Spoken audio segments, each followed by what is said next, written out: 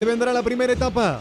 Se corre la moza, un poquito más a la izquierda. La orden del árbitro. Señoras y señores, en Alta Córdoba ya están jugando por esta cuarta fecha de la primera nacional. Instituto y Chicago. La va dominando Curima, va enganchando Curima. Lo presionaba arriba el Liendo. Retrocedía y terminaba perdiendo la pelota el jugador Maciero. Ya va para Mazola, la deja Mazola. Atención que arranca Liendo, se viene Liendo. Pelota para Rodríguez, va Rodríguez. Lo cierra Lorenzo. Será saque de meta. Habrá salida para Taborda. Primeros 25 sección. Van a quedar 3 contra 3. Se viene Graciani. Por el medio va llegando Rodríguez. Rodríguez. ¡Gol!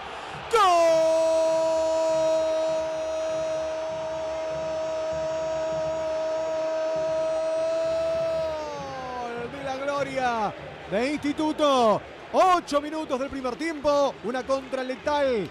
Conduce Graciani. Define Santiago. Define Rodríguez. Instituto en casi nueve del primer tiempo. Le gana 1 a 0 Chicago en Alta Córdoba. Ahora, quedó mal estructurado defensivamente, volcado en ataque Chicago. Graciani adelantó líneas por la derecha. Dos que calcularon mal en la banda izquierda para el conjunto de Mataderos. Pagaron en el salto y en el intento de corte. No hubo respuesta de Taborda porque tampoco hubo responsabilidad.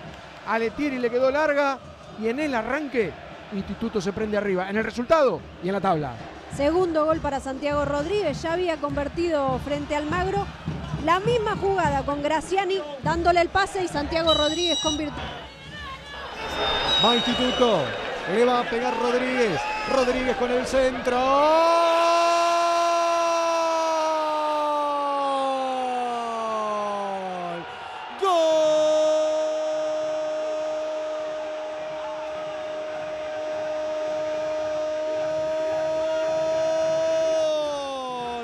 De Instituto. 42 minutos. Cuando se muere la primera etapa, la gloria aumenta la diferencia. Buen centro de Rodríguez. La cabeza de Graciani. Gana la gloria 2 a 0. había dejado de atacar y hasta con cierta fortuna en el rebote. ¿eh? Lo va a buscar Graciani, se abrazan con él. De una pelota detenida, abrió más la diferencia como para pensar en que empieza a cerrar el juego. Termina sacando Roberto Bocci, la dejó corta. Atención, va Guerra.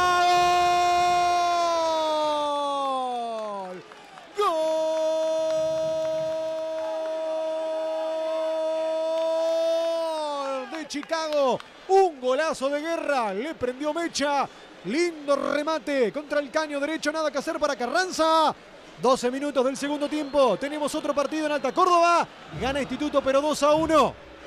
En este rato llegó más Chicago que en todo el primer tiempo. Lo había tenido antes con el Taco González. En este caso, uno de los que vino de